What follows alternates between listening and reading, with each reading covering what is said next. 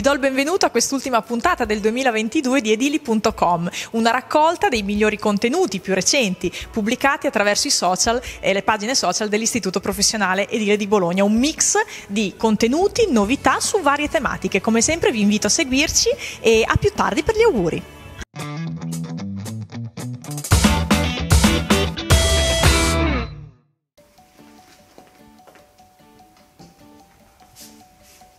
Vi lancio una sfida.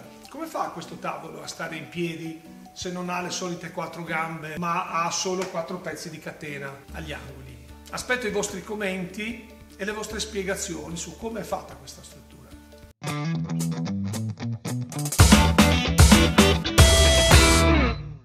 Questo tavolo un po' particolare che vedete qua è eh, una specie di costruzione che utilizza in maniera eh, intelligente la capacità dei materiali di lavorare anche a trazione.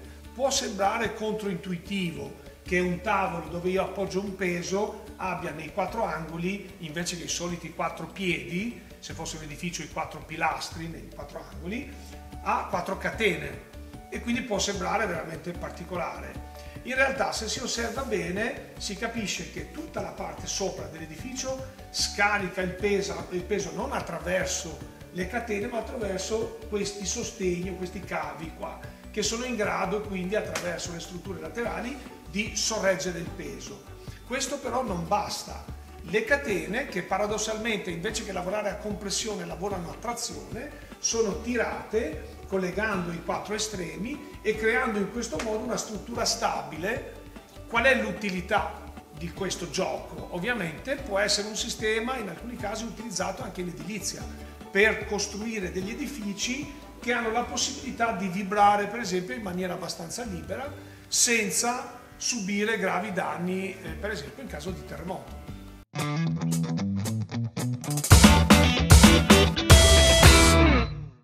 Uno degli sforzi peggiori che può subire una struttura architettonica durante un sisma è quello di torsione. Per comprendere bene la torsione basta immaginare il gesto e il movimento quando strizziamo un vestito.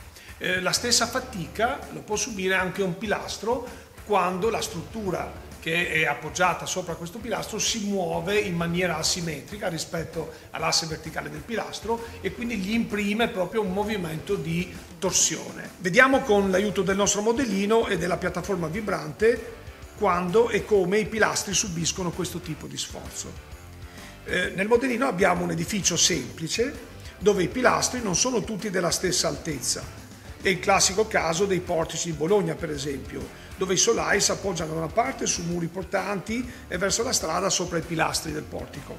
Quando l'edificio si muove per effetto dei movimenti sismici ondulatori, il solaio si muove in maniera irregolare, ruotando su se stesso e trascinando in questo modo i pilastri più alti in uno sforzo di torsione. Per evitare quindi questo tipo di sforzo è bene che le costruzioni siano simmetriche, scatolari e abbiano strutture semplici in maniera che gli sforzi eh, del, del, terremoto arrivino in maniera uniforme sulla struttura stessa senza imprimere questi movimenti particolari di torsione.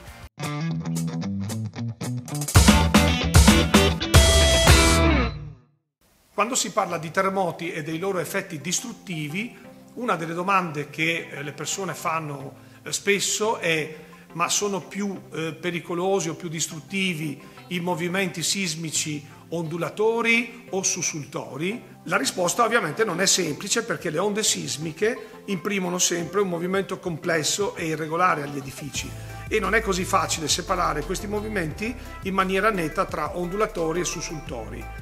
Di solito i progettisti lo fanno solo per semplificare i loro calcoli strutturali. Nel caso delle onde sussultorie, cioè quelle che imprimono un movimento verticale del terreno, entra in gioco la gravità e i calcoli in genere sono un po' più semplici da fare. Quando l'edificio si solleva insieme al terreno verso l'alto, la gravità diminuisce, come quando lanciamo in aria un pallone. Quindi è come se tutto fosse più leggero. Quando torna verso il basso, subisce un'accelerazione di gravità ed è come se pesasse molto di più. In questo caso le pareti verticali dell'edificio, ovviamente muri e anche i pilastri, devono sopportare un peso maggiore del solito e lavorare di più a compressione. Se ce la fanno quindi l'edificio rimane in piedi, altrimenti l'accelerazione può causare in alcuni casi anche il crollo delle strutture.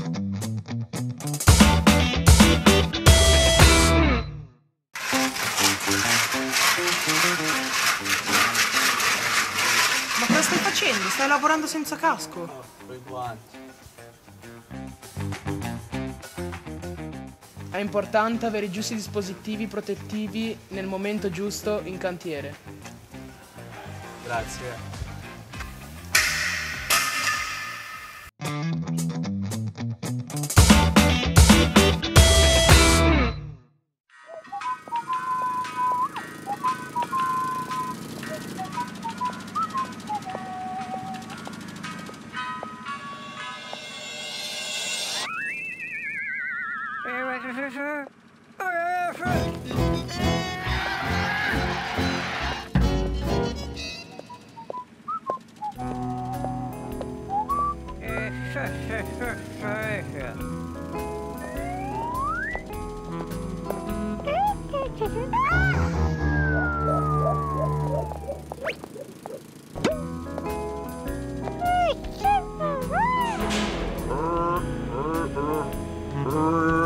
Ha ha ha ha!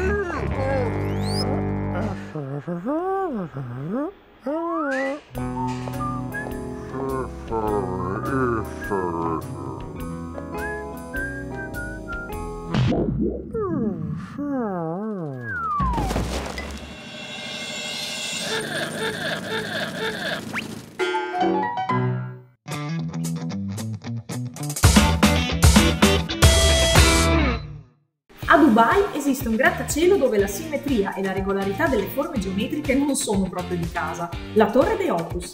Altezza 93 metri, estensione oltre 84.000 m2, composizione pannelli piatti sui lati esterni e curvi al centro, in doppia pelle di vetro performante, a tratti temperato, con filtro per i raggi UV. Segni particolari? In base al punto da cui lo si guarda, l'edificio, che ospita un hotel, vari uffici, ristoranti e bar esclusivi, appare in due modi diversi.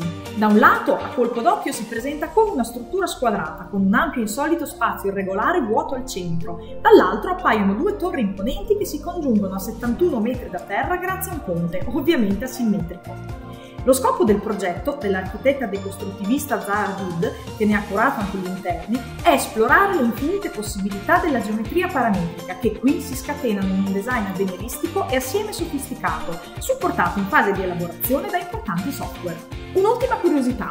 Di giorno la facciata riflette il cielo e gli edifici circostanti, di notte è illuminato da LED gestibili singolarmente all'interno di ciascun pannello di vetro. Sensori regolano inoltre automaticamente la ventilazione e l'illuminazione dell'intero edificio in base a quanti lo occupano.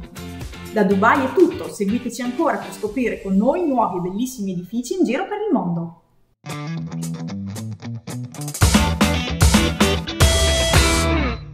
La silice libera cristallina oggi è classificata come agente cancerogeno di classe 1 dallo IARC e quindi è una sostanza che è eh, definita pericolosa anche se questo vale solo per la silice libera cristallina liberata da processi di lavorazione, quindi non solo come materia prima.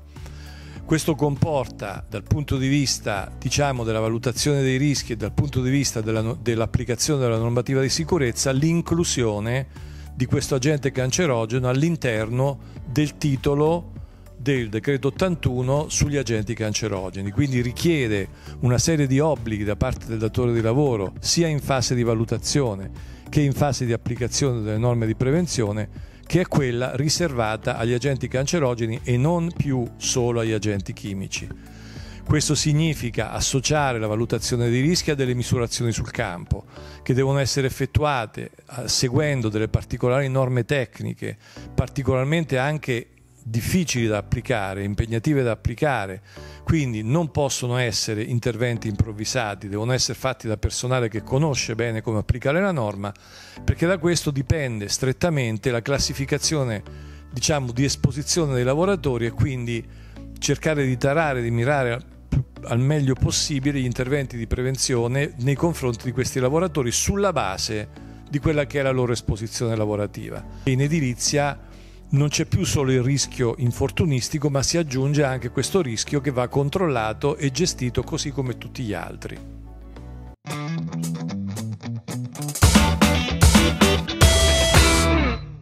La silice libera cristallina è una delle componenti delle polveri che si liberano eh, quando vengono sottoposti ad azione meccanica i laterizi e i materiali da costruzione in genere, i derivati della pietra, della sabbia e del cemento, quando ci sono le demolizioni, quando ci sono eh, delle, mh, mm, l'uso di flessibili o di tagliamattoni ad esempio. È una sostanza che recentemente ha ehm, richiamato l'attenzione perché le lavorazioni che producono polveri che contengono silice libera cristallina sono state identificate come agenti cancerogeni dalla, dalla normativa. I lavoratori all'interno dei cantieri possono proteggersi dall'azione di questa, di questa, sostanza, di questa polvere, in due modi. Nel primo modo limitando al massimo possibile la produzione delle polveri con attrezzature che sono o dotate di aspirazioni o lavorano a umido, che danno un contributo alla polverosità ambientale è davvero molto, molto ridotto. Un secondo sistema integrazione del primo è quella della protezione personale con delle, dei facciali filtranti, delle mascherine, della protezione delle vie respiratorie con un grado di protezione che deve essere dal grado FFP2 eh, oppure FFP3.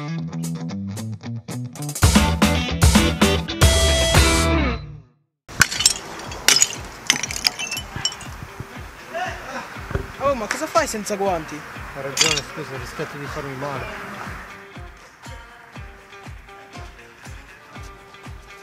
Devi utilizzare nel momento giusto i giusti dispositivi protettivi per la sicurezza.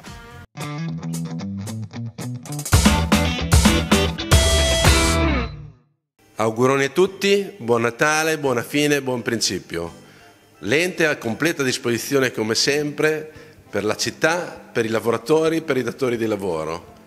Qui c'è l'eccellenza dell'edilizia e la grande fortuna di questo momento economico particolarmente favorevole per, nostra, per, il nostro settore. Vi aspettiamo numerosi, soprattutto i giovani. Qui nasce la nuova pianta del futuro. Auguroni! Dal laboratorio di Iple dove i ragazzi stanno ultimando il loro albero di Natale. Io vi saluto, vi do appuntamento alla nuova edizione di edili.com il prossimo anno. Vi faccio tanti auguri di buon Natale e di serene feste a nome di tutta la redazione della trasmissione dell'Istituto Professionale Edile di Bologna.